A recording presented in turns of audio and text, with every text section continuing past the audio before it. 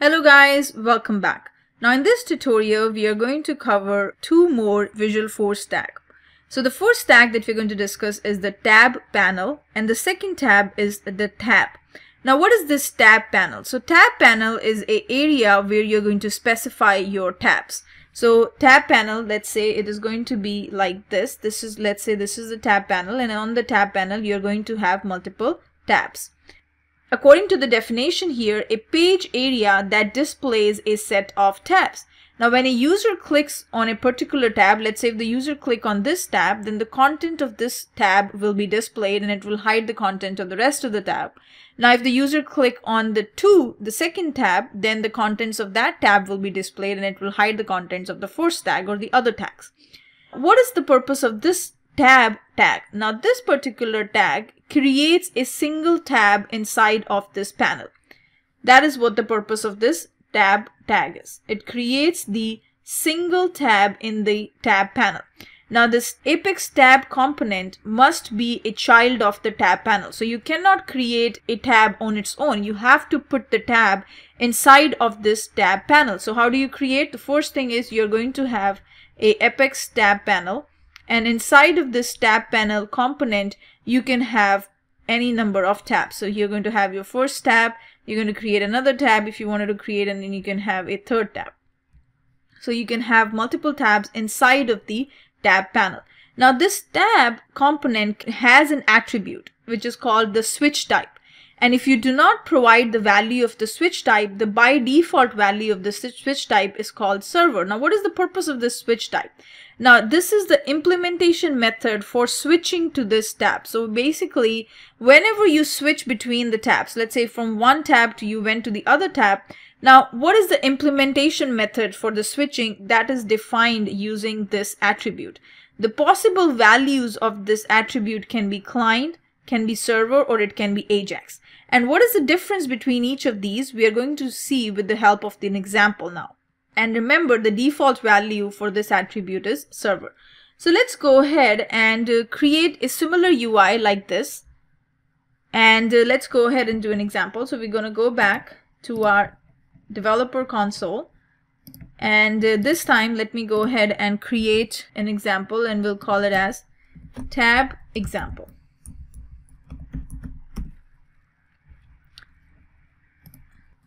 Let's say the ID for this page tag is the page. Now we're going to go ahead and create tabs, right? So first thing we need to do is it has to be a child of the tab panel. So we are going to go ahead and use this component called tab panel. That is where the area where you're going to add your tabs. So inside of this tab panel, you can have the tabs. So here we're going to say apex the first tab and what is the name? Let's say we call it as so the attribute is the label. So we're going to use this and let's say we call it as home. So this is the home the home tab and uh, the name let's say we call it as home 1 and ID for this tab is called tab 1 let's say this is the ID for this tab. And whatever the contents you want to put it. So let's say I wanted to put something like this is let's say this is what I want to do put it in the content section. Similarly we are going to create another tab here and uh, we are going to go ahead and call this as we're going to use this another the same component apex tab.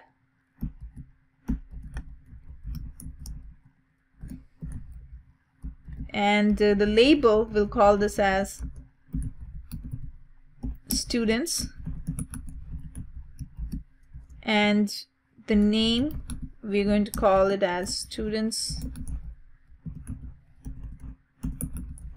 1 and the ID the unique identifier for this component is called as tab 2 and inside of this tab let's say this is the content for the tab 2 so what I've done is I have created a tab panel and inside of this tab panel I have defined two tabs the first tab is home and the second tab is the students. That is the second tab. Now let's go ahead and hit the save button. So you can see here once by default the home is selected. When you click on the students, it goes ahead and display you the contents of the student tab. When you click on the home, you see the contents of the home tab. When you click on it, don't you see that the whole page is getting loaded like this whole thing? That is because of the switch type attribute that we talked earlier, the switch type. So here the value for the by default, the value of the switch type attribute is server. So here by default, if you do not specify anything, it is going to be equals to server. And that's when, when you click on this, you see that whole, the page gets refreshed. Now, if you change the switch type to client, let's see what happens. Now, if you change this to client, then in that case, if you switch between the tabs, you do not see that whole refreshing, right? It just changes these contents if you go back and you see the difference what I'm talking about between server and client. So if you go ahead and click here, now this whole page is getting loaded looks like and then home if you switch back it whole page gets loaded. But if you change the switch type to client, now in that case you do not see the loading. You do not see that refresh of the page. You can see here it's very smooth. So once you click on the home, it shows you the contents of the home. If you click on the students, it displays you the contents of the students tab and always remember if you do not have this attribute let's say you and you're trying to just create the tabs now in this case you're going to get the error and it will tell you that what is the error for the error is for it says the apex tag must be between this tab panel so you cannot create tabs without having a tab panel so tab panel is is the area on which you're going to create your tabs so we have added two tabs here. The first is called the home tab and the second one is called the student. So the label is the one which will display here. This is the name for the tab and this is the unique identifier for this tab. So tab 1 and this is the tab 2.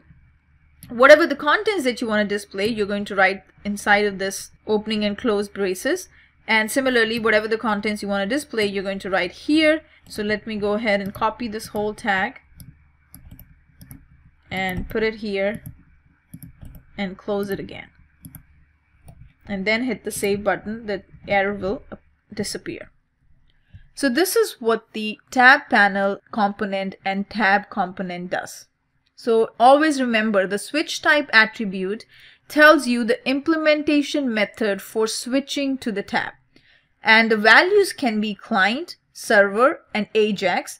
And if you do not specify the value of the switch type attribute then the value will default to server and if you have specified then this value will override the switch type attribute on the tab panel component. So if you have already specified then that will take the precedence over the server default value. So this is how you create tabs and this is how you add contents to the tab so right now, guys, you might be feeling that I'm kind of covering very simple example, but that's fine. Hold on to it because I'm trying to explain to you all the components that we're going to use in our upcoming tutorials, which will get more and more complex. So there, I'm not going to explain to you the meaning of each and every component. There, I'm just going to use those components. Since you have this understanding of each of these tags, it will be very easier and very, very fast in the upcoming more complicated examples. So I hope you're enjoying these tutorials and if you have any questions, you can always email me or you can post a discussion in the discussion board and I will be happy to help you out. And uh, thank you so much and I will see you in the next tutorial.